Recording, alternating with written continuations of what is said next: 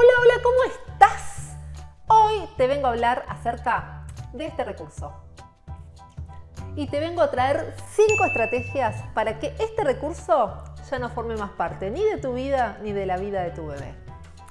Pero antes te quiero decir que si te gusta este video, por supuesto que le des like, que te suscribas a nuestro canal. Es muy fácil suscribirte a nuestro canal, simplemente le das clic a la campanita, te suscribís. Es rápido, es gratis, a vos no te cuesta nada y nos ayuda muchísimo a nosotros para poder visibilizar todo este contenido tan importante. Por supuesto, seguirnos en Instagram, Facebook, TikTok.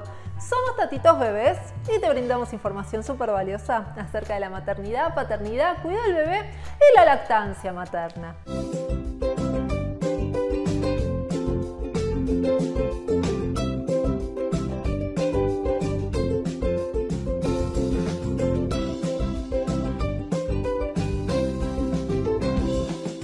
Bueno, para empezar, creo que es más que obvio el por qué una mujer puede querer suspender el uso de la pezonera, ¿sí? ya que hay que llevarla para todos lados, es necesario lavarlas cada vez que las utilizamos, se viven desacomodando constantemente en el pecho, obviamente son poco cómodas, se pierden con frecuencia y obviamente interfieren con el contacto directo con el bebé.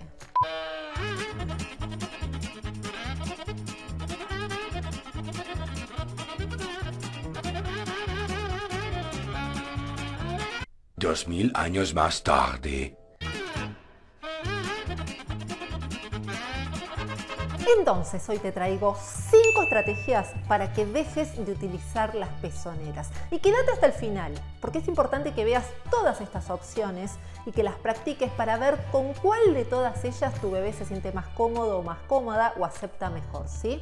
Así que no te las pierdas. Una de las opciones más comunes para suspender el uso de la pezonera es empezar a alimentar a tu bebé con la pezonera y una vez que se empieza a quedar dormido, ahí retirarlas y empezarle a ofrecer el pecho sin la pezonera. Esta opción es muy utilizada y es una de las más conocidas porque actúa cuando tu bebé ya no tiene tanto hambre como antes y además ya está más relajado o más relajada, ¿sí? Y además los estamos engañando un poquitito. Guiño, guiño. No, no, esa parte no. Otra de las opciones muy utilizadas también es ofrecerle la leche en diferido, ¿sí? Es decir, vos te traes la leche y se la ofreces de diferentes maneras. Yo por acá te voy a estar dejando uno de los videos donde te cuento cómo ofrecerle la leche en diferido a tu bebé, que puede ser o con vasito, con cucharita, puede ser de dos jeringas, ¿sí? Son diferentes estrategias que se utiliza para ofrecerle la leche a tu bebé sin que esté en contacto directo con la pezonera, con una tetina de un biberón y ofrecerle la leche de esta manera y luego sí iniciar con la opción de darle el pecho para que succione. Otra de las opciones también que se utilizan es realizar piel con piel y esto básicamente tiene que ver con generarle el contacto a tu bebé, que tenga el pecho disponible, que tenga el pecho próximo a su rostro, a su cara, que sea una opción para succionar. Entonces vos al realizar piel con piel estás en contacto, que tu bebé repte, se acerque al pecho, lo huela, puede pasar la lengua y demás, y que se vaya relacionando con el pecho sin la pezonera de a poquito,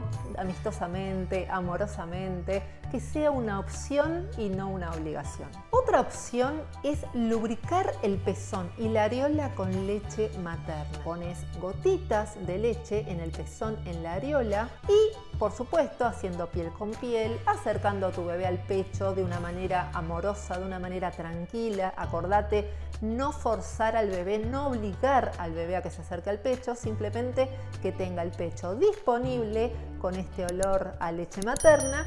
Es una manera también de ir generando este acercamiento a el pecho de mamá. Otra estrategia para utilizar sobre todo con los bebitos que tienen poco tiempo de vida es realizar la técnica o la posición de eh, balón de fútbol, ¿sí?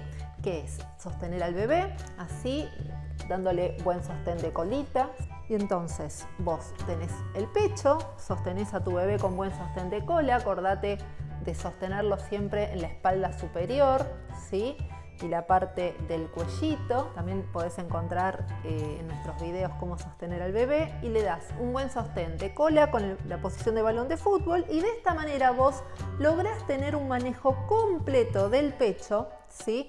para proyectarle el pezón y manejar el pecho para acompañar a tu bebé en la prendida. Si esta posición está muy buena, a veces les da mucho mm, sostén a los bebés, por eso principalmente es para los bebitos que tienen pocos días de vida, que les gusta estar contenidos, que necesitan sentirse seguros. Entonces es una posición que muchas veces ayuda para poder suspender también el uso de las pezoneras. Así que probala también. Pero lo más importante que te tiene que quedar en claro es que muchas veces las pezoneras los bebitos las dejan solos. Muchas veces sucede que cuando el bebé empieza a succionar mejor, solito va dejando la pezonera cerca de los tres meses. A veces se da también que sucede que ya empieza a crecer un poquitito más y la dejan. Pero lo más importante que te quede claro es que no hay que forzar al bebé, ¿sí? Recordá que sea una opción pero no una obligación el dejar la pezonera. Además, no te olvides de proveer un ambiente tranquilo para tu bebé. Recordá que es un proceso, ¿sí? Donde vas a ver que de repente tu bebé acepta tomar el pecho sin la pezonera y de repente te la vuelve a pedir. No pasa nada, no hay nada mal, es un proceso, esto es así, va cambiando, puede suceder que quizás suelta la pezonera para siempre y no te la pide más, también puede pasar y lo más importante es respetar los tiempos de tu bebé, ¿sí? Entonces, no dejes de practicar todas las estrategias que vimos hoy y después contame cómo te fue. Yo por acá te voy a estar dejando los videos que te estuve contando a lo largo de este video para que completes toda la información que aprendiste hoy.